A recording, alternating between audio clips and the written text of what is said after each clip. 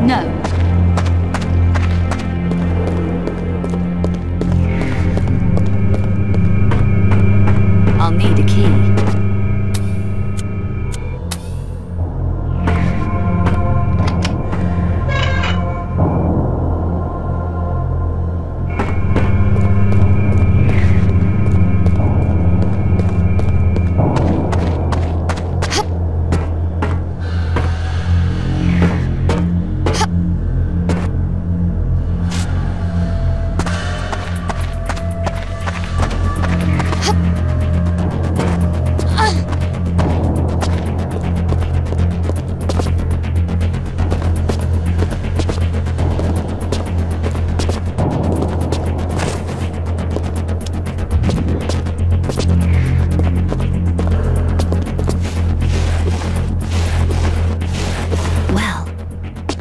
It's clean in here.